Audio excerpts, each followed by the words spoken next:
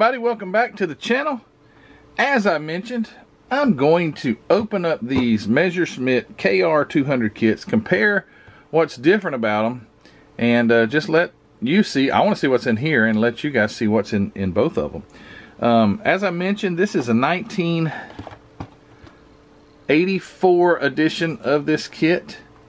It is uh, very cool, but they're kind of expensive. Um, this one sold for $29.95 a long time ago. I don't know how old that sticker is, but it was an expensive kit.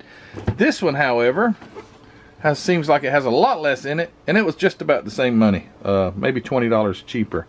So, let's get them opened and see what's in here. So this guy's been waiting since 1984 for me to open it.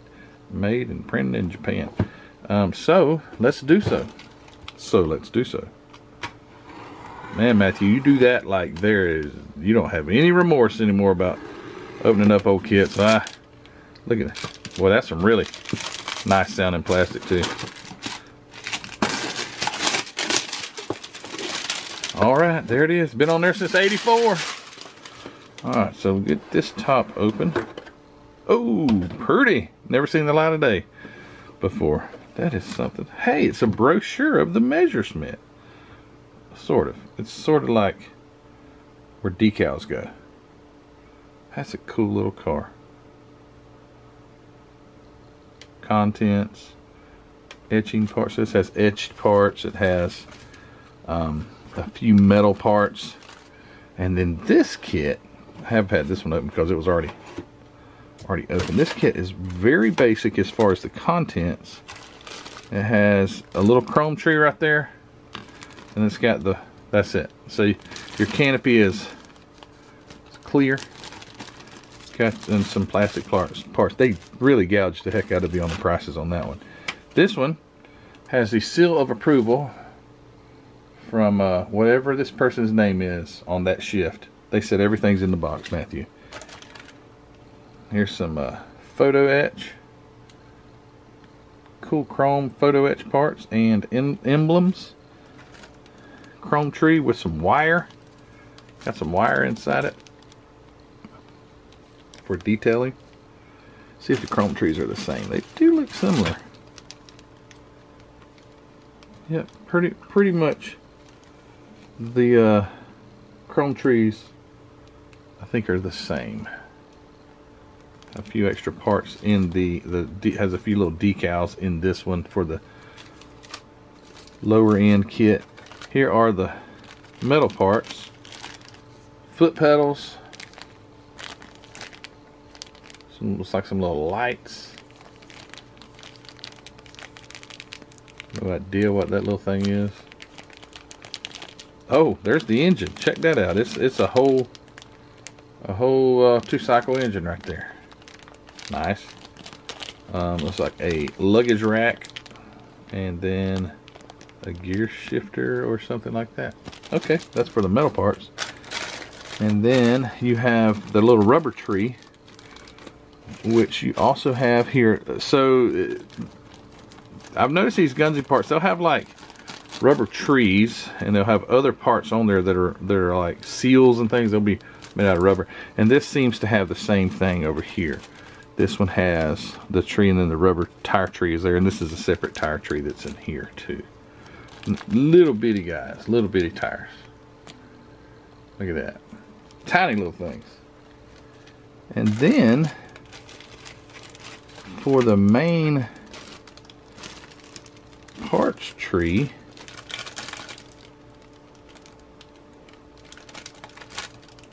I don't see any difference. Honestly, that maybe maybe the other kit also you guys are like, look at the instructions, dummy.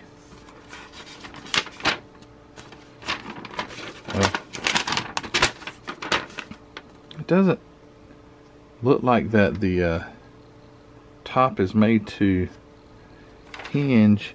You know what? It may not hinge. It may be you either build it open or you build it closed. Here's some material, looks like for the seats or the roof or something. That's pretty neat. Almost looks like leather. and then a two axles. I think that, that other one has the axles as well. This is already kind of busted open. So here's your your little canopy, which you would paint the top or cover it with something. And it's shaped different on one side than the other. And it would fold open like this, like to the right, from what I've seen.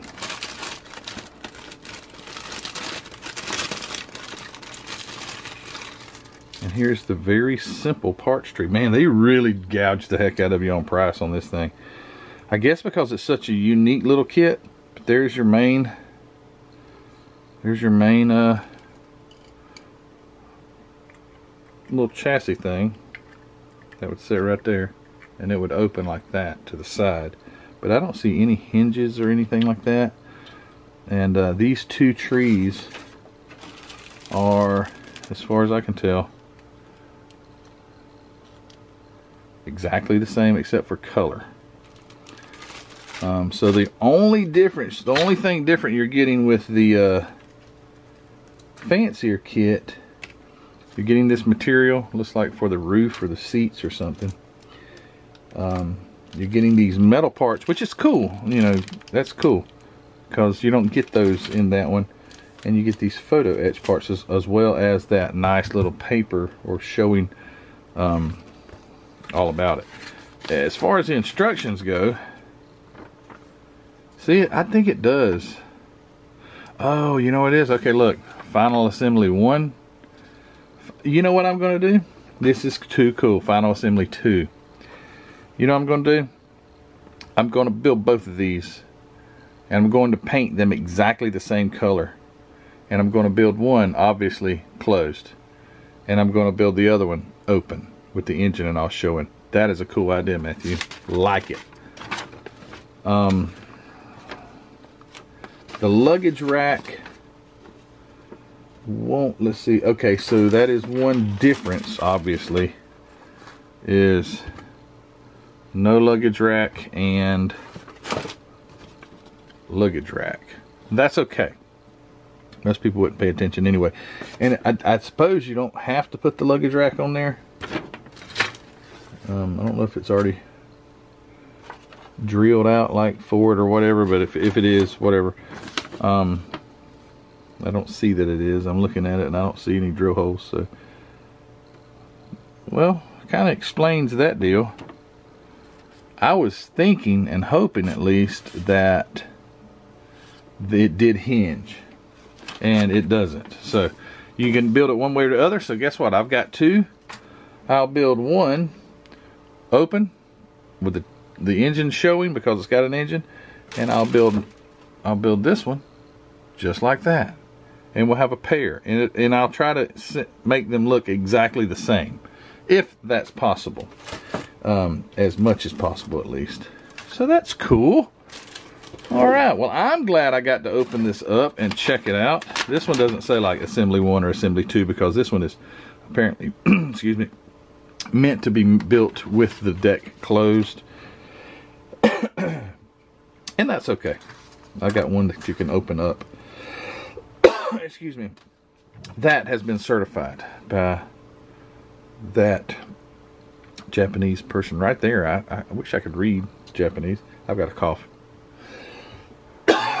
Excuse me. and I've got this cool little thing that I can put up on the wall. That's got all the pictures of it. And this is how this one's going to look all opened up, engine showing, cockpit, even got the little strap.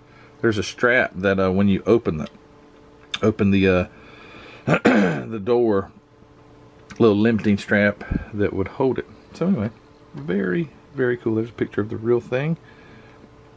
Go check them out on eBay or uh, YouTube. The, the little Messerschmitt KR200s. Excuse me again. They're really cool. So guys, thanks for watching this quick video. Just wanted to quickly open these up do a box opening and kind of, I'm glad I got my mind set on what to do now. That's why I got two. Just so happened, just so happened that I was able to get two of these.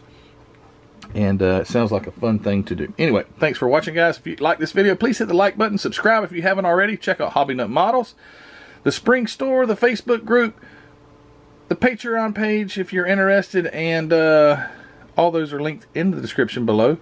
And uh, I'm done here. So I'm going to put them on the shelf for now, but there's plans for these for sure. And uh, I think this year. So you guys continue to watch and we'll see what happens with them. All right, guys. You guys, okay, guys. Can you say guys one more time, Matthew? Sure. You guys take care, okay? And we will see you guys on the next video.